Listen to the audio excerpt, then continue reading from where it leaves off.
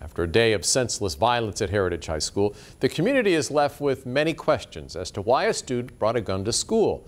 The Newport News School Board is meeting tonight. One member tells Allison Basil he has a few ideas on how the division can improve safety.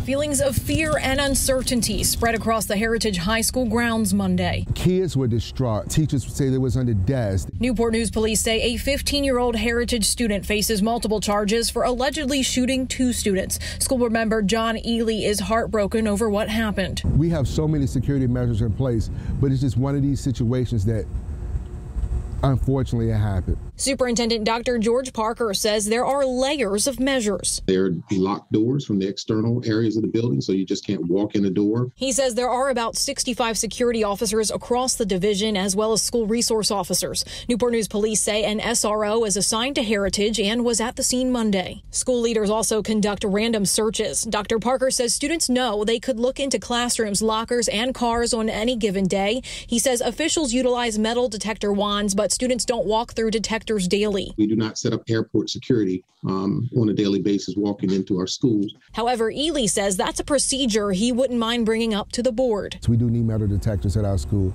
because we want to make sure our kids are safe. He also believes more after school activities could keep students out of trouble. We have to go back to the the blueprint where they used to have little league football teams in the city. Activities to keep these youth busy. Dr. Parker agrees that the community has a part in maximizing student safety. Reflect on the significance of young adults having access to weapons. If we really want to make sure we have safe schools, um, there's an extra layer, a community layer uh, of security. And Dr. Parker tells me once staff and students retrieve their belongings from Heritage, they will start virtual classes. However, he has no start date for that yet. In Newport News, Allison Basil, 13 News Now.